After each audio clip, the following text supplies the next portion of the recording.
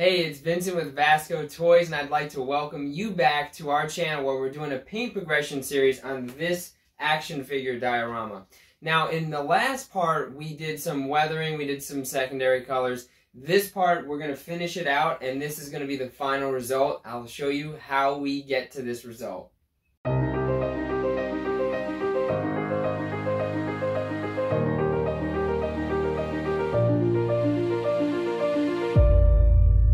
Vasco Toys.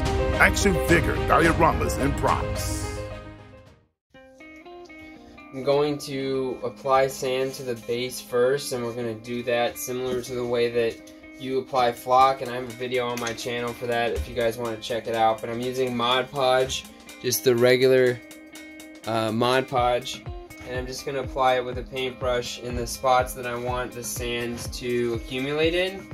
And in some of these cases, I'm going to put the Mod Podge into the cracks um, just to kind of hold it in place, even though it is going to gravitate towards going in there on its own. And then we're going to put a solution on it that is going to make it um, stay in there anyway.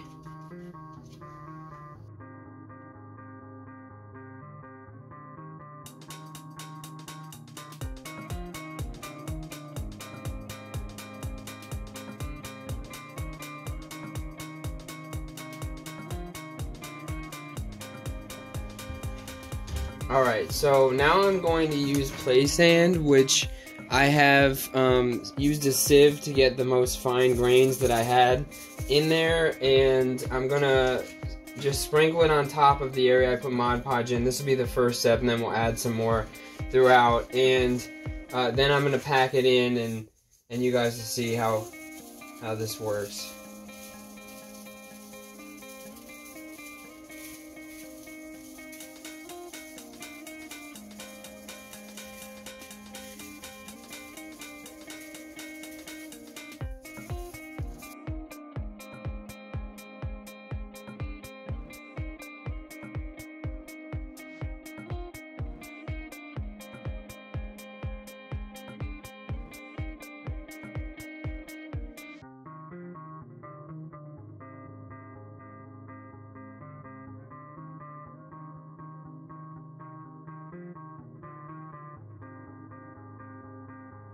So now you can see um, there are, you know, there's some sand that appears at the start of this and it's almost as if the sand is blowing this way. So I'm going to try to continue that trend on the base and then eventually we'll do the pillars.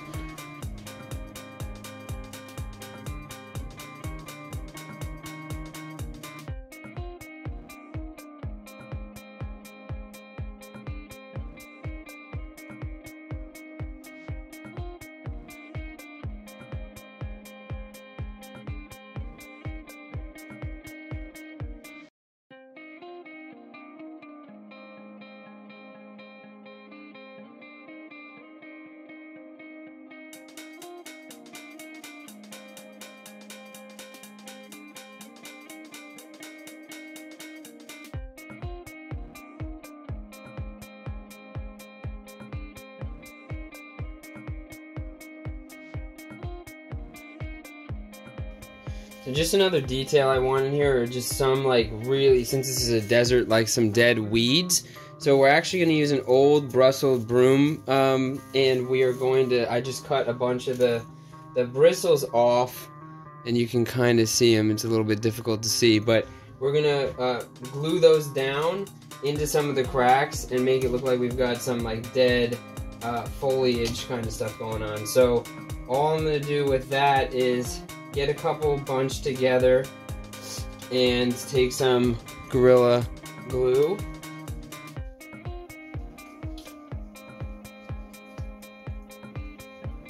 Just get a little bit of the glue. Just dab it on the top and then stick it in one of the cracks.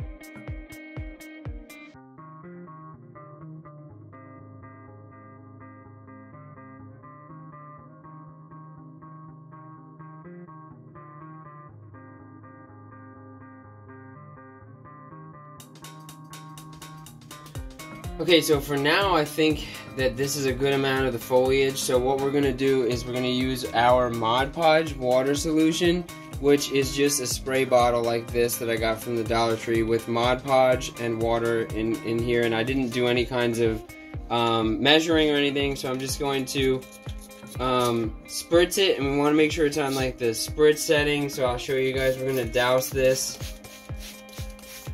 And it's gonna do kind of two things. The the main thing that we wanted to do is seal the sand down so that it doesn't uh, so it dries and it'll be there permanently. But it's also going to uh, somewhat seal the diorama, the paint, and all of that. Even though we are to seal it separately at the end. So we want to make sure it's nice and wet. And now we've got to let this thing dry out in the sun or under some kind of heat source. Time to do the same process on the pillars. So I'm just gonna get my Mod Podge and then get ready to sprinkle the sand on. And I'm gonna do a lot of it around like the cracks and crevices of the base because that's where windy sand would want to go if it was an actual desert.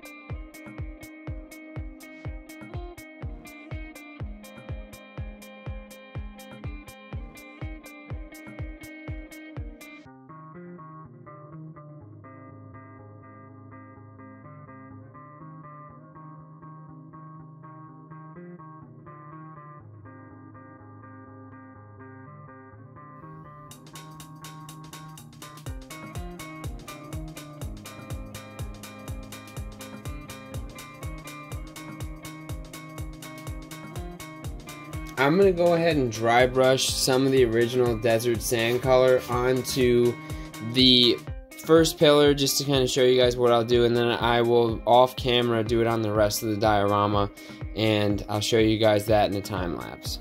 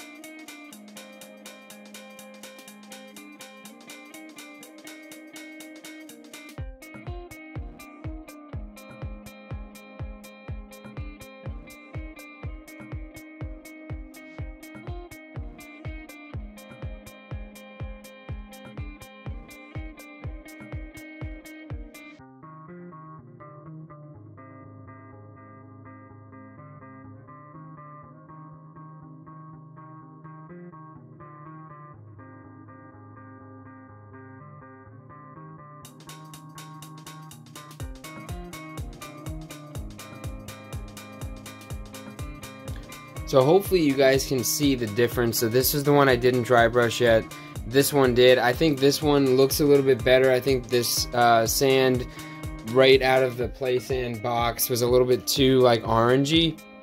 And I think that, you know, adding in the desert sand as a dry brush helped. So I'm going to do that on this and all the other pieces. And then I'll check back in with you guys. Quick thing to show you guys before I wrap this up.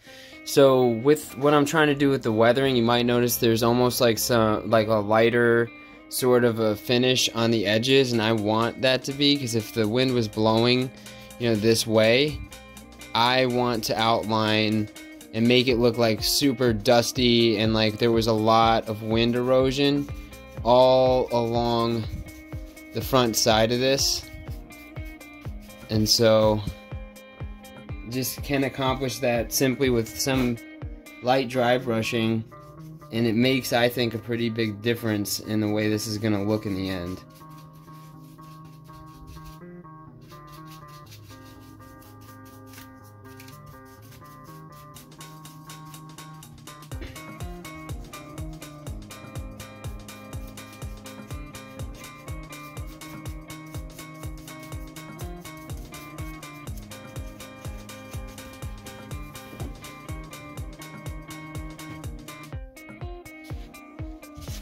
We're going to do the same dry brushing to get that final weathered effect on the columns.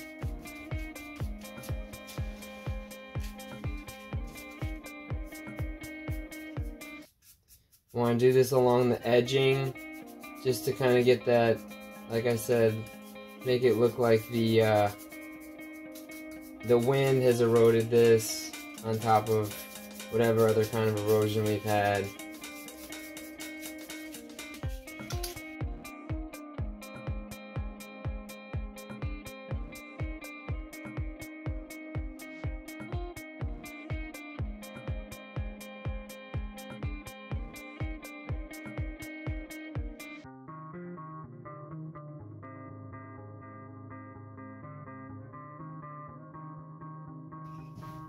The final thing that I want to do to make sure that this diorama is finished is to seal it, and I'm going to show you guys how to do that quick. I'm going to explain it here and then show a shot of me doing it.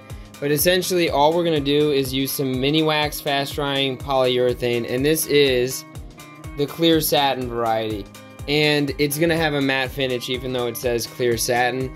This is a spray can, and most of the time you'll hear people say don't spray the pink insulation foam. Um, this will actually not, for whatever reason, damage that uh, pink insulation foam as long as you spray it from 6 to 12 inches away. And I always like to do a test piece when I get a new can just to make sure. But I'm going to show you guys, it's very simple. Just spray a couple of coats on here, let it dry, and then we'll be all set.